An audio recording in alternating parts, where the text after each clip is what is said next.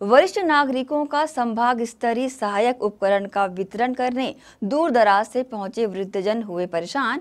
वहीं आँख व कान जाँच के नाम पर सिर्फ़ पकड़ा दी गई है पर्ची। दुर्ग के रविशंकर स्टेडियम में बुधवार को आयोजित वरिष्ठ नागरिकों का संभाग स्तरीय सहायक उपकरण हेतु चिन्हांकन, मूल्यांकन एवं वितरण समारोह के आयोजन में करीब 5000 से भी अधिक वृद्ध महिला व पुरुष शामिल हुए, जिसमें कुछ आँख, कान व चलने ऐसी मजबूर पैरों की परेशानी से जूझ रहे लोग शामिल थे। वहीं संभागीय स्तर का आयोजन होने के कारण पूरे संभाग भर से लोगों को बसों के माध्यम से बुलाया गया। वो भी सिर्फ़ चिन्हांकन, मूल्यांकन के लिए। गौरतलब है कि संचालक समाज कल्याण संचालनालय रायपुर के दिशा निर्देश के बाद समाज कल्याण विभाग द्वारा आयोजित इस कार्यक्रम में वरिष्ठ नागरिकों को वृद्धावस्था में होने वाली शारीरिक समस्याओं का निराकरण करने हेतु संभाग अंतर्गत समस्त जिलों के वरिष्ठ नागरिकों को उनकी आवश्यकता अनुसार छड़ी चश्मा कृत्रिम दांत व्हील चेयर आदि प्रदान करने संभाग स्त्री समारोह का आयोजन किया गया। अगर धरातल में बस नाम लिख पर्ची देकर कान से पीड़ित लोगों को स्थानीय जिला अस्पताल में संपर्क करने कहा गया। इस संबंध में न्यूज़ टीम को वृद्ध जनों ने अपनी प्रतिक्रिया दी। मैं कोरिया से आया हूँ और पैर में दर्द रहता है उसके लिए छड़ी चाहिए मेरे को। छड़ी चाहिए। व्हील चेयर चाहिए गाँव से आए हैं। बहुत आदमी हम लोग पच्चीस छब्बीस आदमी आए हैं। और किसी को चश्मा चाहिए, किसी को छड़ी चाहिए, किसी को व्हील चेयर भी चाहिए। बहुत बहुत तकलीफ़ में है तो यहाँ शिविर लगा करके आए हैं। अभी तक तो टोकन काटा है, पर्ची दिया है, और वहाँ पंडाल में बैठने को बोल रहा है। कोई अतिथि आएगा, महोदय जी तो वही उसी के हाथ से वितरण किया जाएगा, बता रहे हैं। के बाद बोल रहे हैं, सर अब जाँच पूरा हो चुका है। वहाँ से भी राजनांदगांव से आए हम लोग। तो बोले, मशीन अभी यहाँ से नहीं रीचेक आपको कराना पड़ेगा एक बार वहाँ से। फिर वहाँ से आपको कंफर्म करना पड़ेगा, देंगे कि नहीं मशीन करके। यहाँ सर ये सब के लिए बोले थे कि जो उपलब्ध है वो दे देंगे करके। यहाँ अवेलेबल छड़ी वड़ी है और व्हील चेयर वगैरह है। है ना?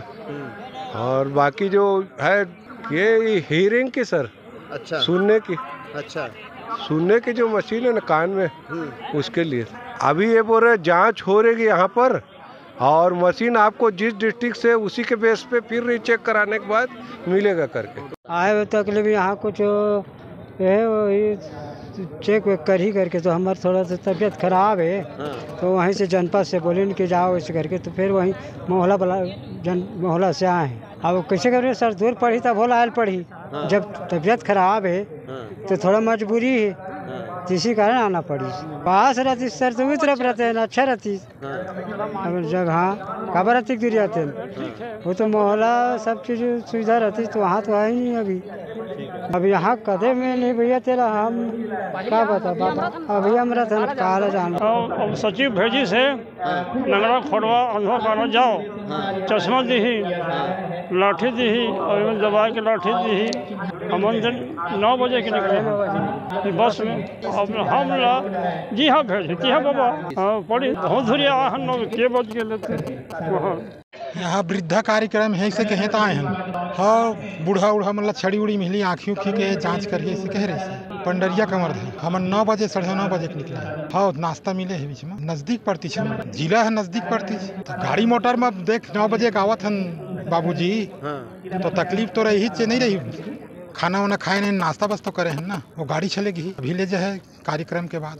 इसके साथ ही शिविर में लगे स्टॉलों पर सिर्फ़ नाम लिख पर्ची बनाई गई जिसके बाद कार्यक्रम में पहुँचे अतिथियों के हाथों सिर्फ़ छड़ी का वितरण कराया गया जिसके बाद बाकी बैठे बुज़ुर्ग सिर्फ़ अपने इंतज़ार में कोई कान की मशीन तो आँख की परेशानी लिए बैठा हुआ भटकता रहा। राज्य में प्रत्येक संभाग में ये कार्यक्रम चल रहा है। 20 तारीख को हमारे रायपुर में हुआ।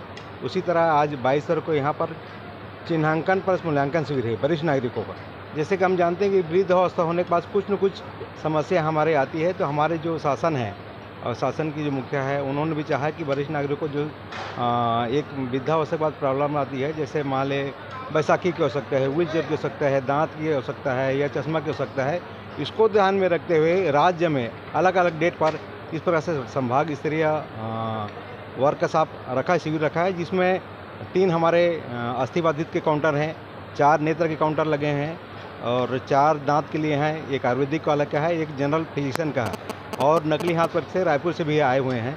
इस प्रकार से इनके लिए चिन्हांकन शिविर आयोजन किया गया है और अभी तत्काल में सबको छड़ी भी दिया जा रहा है, लेकिन अतिशीघ्र शासन के निर्देशानुसार जिनको जो आवश्यकता है, उनके लिए वितरण शिविर का भी आयोजन किया जाएगा। हमारे दुर्ग संभाग के द्वारा यहाँ वरिष्ठ नागरिकों का सहायक उपकरण का वितरण और चिन्हांकित कर रहे हैं।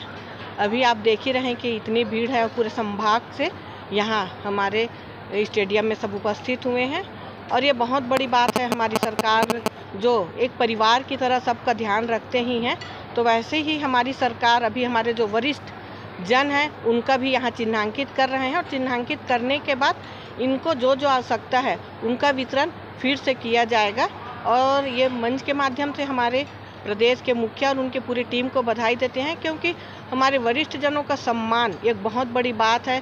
बोलते हैं ना, सियान की सेवा करना सबसे बड़ा है तो वैसे ही हमारे मुख्यमंत्री जी, हमारे जो वरिष्ठ जन हैं, उनके सेवा के लिए हमेशा तत्पर हैं और ये सब कार्यक्रम हो रहा है। हर हर गाँव में व्यवस्था की है, पंचायत को ज़िम्मेदारी दिए हैं।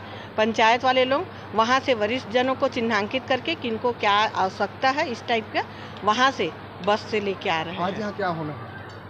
अभी जो छड़ी की है उनको छड़ी वितरण किया जा रहा है और बाकी परीक्षण चल रहा है। तो परीक्षण के बाद फिर उनको जो आवश्यकता है। उनके लिए अलग से फिर तिथि बन के जैसे चश्मा है अभी तो तत्काल बनेगा नहीं। तो चश्मा है दांत है इसके लिए फिर से अपन वितरण तिथि अलग से तय ये संभाग स्तरीय है। संभाग स्तरीय होने से एक अलग आयोजन सबको यहाँ आने का और एक संभाग स्तरीय आप लोग जाते हैं कि बड़ा रूप रहता है अच्छा ऐसे करने से। आयोजन में भी थोड़ा सा। जिस तरह से छत्तीसगढ़ शासन द्वारा वरिष्ठ नागरिकों को वृद्ध अवस्था में होने वाली परेशानी का एहसास होने को लेकर संभाग स्तरीय आयोजन कर उन तक सुविधाएँ पहुँचाने का अवसर दिया। वहीं क्या ये सब उनके स्थानीय निवास या जिला स्तर पर भी तो हो सकता था? फिर इतना खर्च कर बदलते मौसम में सौ सौ किलोमीटर दूर दराज से इन बुज़ुर्गों को परेशान होने की जहमत क्यों कराई? अब देखना होगा कि इस आयोजन में पहुँचे सभी लगभग पाँच हज़ार हज़ार से अधिक बुज़ुर्गों को उनके ज़रूरत के साधन मिले या सिर्फ़ छड़ी का जादू दिखाकर इनका समय बर्बाद किया। ग्रैंड एशिया न्यूज़ के लिए दुर्ग से नसीम फारूकी की रिपोर्ट।